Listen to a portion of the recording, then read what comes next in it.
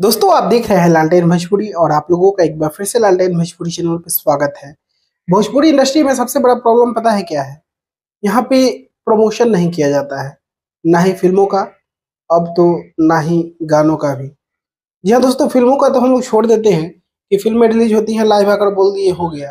Promotion वहाँ तक film का ही सीमित हो जाता है। लेकिन अगर हम लोग गानों का बात करें तो ठीक से लोग पोस्टर भी नहीं शेयर करते हैं। जनरली गाना में गाना का जो टीम होता है मेजोरिटी उसमें होता है एक एक्टर एक सिंगर जो कि दोनों सेम होता है। लेकिन फीमेल एक्टर और फीमेल सिंगर दोनों डिफरेंट होते हैं। अधिकांश तौर पे देखा जाता है तो। या तो अभी एग्जांपल हम लोग, अगर हम लोग ले तो कल खेसारी म्यूज़िक वर्ल्ड से जो गाना आया था, उसके एक्टर और मेल सिंगर खेसारी लाल यादव हैं। लेकिन फीमेल सिंगर अनुपमा यादव है और फीमेल एक्ट्रेस यामिनी सिंह है।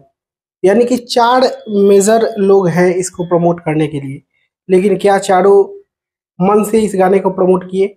आप देखेंगे तो कोई फेसबुक पर शेयर किया है तो इंस्टाग्राम पे नहीं, कोई इंस्टाग्राम पर शेयर किया है तो फेसबुक पे नहीं। यानी कि जिसको जहाँ मन किया, अपने मन से कर दिए तो हो गया तो हो गया बस। मन से कोई प्रमोट नहीं करता है। और ये सबसे बड़ा ड्रॉबैक है गाने के नहीं चलने का। क्योंकि टीम में उतना मतलब एक्साइटमेंट ही नहीं है। हाँ फेसबुक पे कर दिए तो ठीक है, कर दिए। चाहे इंस्टाग्राम पे कर दिए तो कर दिए। नहीं भी किए तो चल रहा है। जैसे अनुपमा यादव अभी देखेंगे आप लोग तो फेसबुक पे शेयर की है, लेकिन इंस्टाग्राम पे एक चर्चा स्टोरी तक नहीं लगाई है कल वाले गाने के बारे में। खेसारी लाल यादव भी सेम वैसा ही। फेसबुक पे शेयर किया है इंस्टाग्राम पे पोस्टर शेयर नहीं किए हैं। यामिनी सिंह इंस्टाग्राम पे की हैं।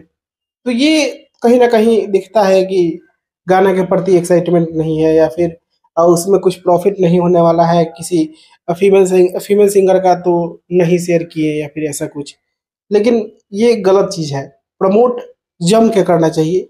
हर गाने का करना चाहिए क्योंकि हर गाने में आपका योगदान है तो उस पर आपका अधिकार है।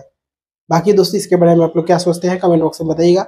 और इसी के साथ में इस वीडियो को यहीं पर खत्म करता हूँ। मैं मिलूँगा आप लोगों से नए वीडियो में। तब तक के लिए जय हिंद जय भोजपुरी।